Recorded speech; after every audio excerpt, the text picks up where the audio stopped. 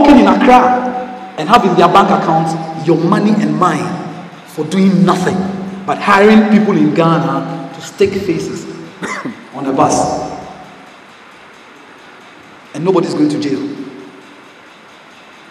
Such blatant collusion in breach of the law, we are told it should end because they've refunded part of the money and a minister has resigned.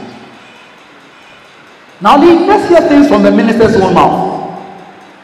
Because it was this event that broke the story, where the 2016 budget was being debated in Parliament. And the ministry's budget had been slashed.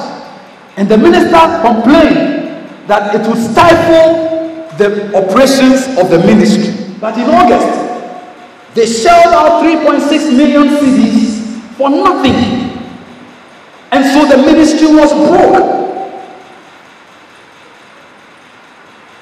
It's this state that we pay the money. No wonder they had to go into the oil funds and pick that money up. As recently as April 2010, this time as former minister, the minister says that unless and until her party is voted for, she will go to jail. But nobody has talked about jailing her. As it is said in my language, when you eat the head of an ape, it gives you nightmares. So, whose lives were being changed? Look at the back of the buses. Changing lives. Whose lives have been changed by the 3.6 million? One person. Are, are, are you here with me? Look at the pictures.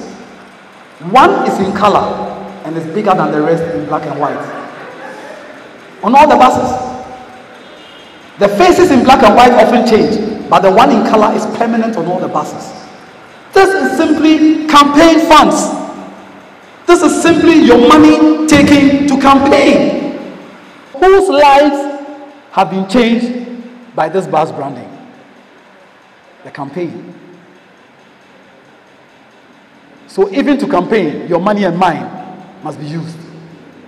We have presented a 20 page dossier to the Attorney General, and, we are, and we've copied the Speaker of Parliament, Majority Leader, Minority Leader, leaders of all political parties. We are demanding rescission of the contract, we are demanding prosecution. Governments have stolen enough from Ghana. We will not allow it anymore. We are serving notice on the next government, whichever party it comes from, that as for this matter, we will not let it lie. We will not let this lie ever. They should recover every dime of our money. And the people who did this, the ministers, the directors of and chief directors of the ministries who signed those lying letters the people who are running Smarttys who benefited from this, there's sufficient law to jail them. Unless and until this nation makes an example, people will steal our money with impunity.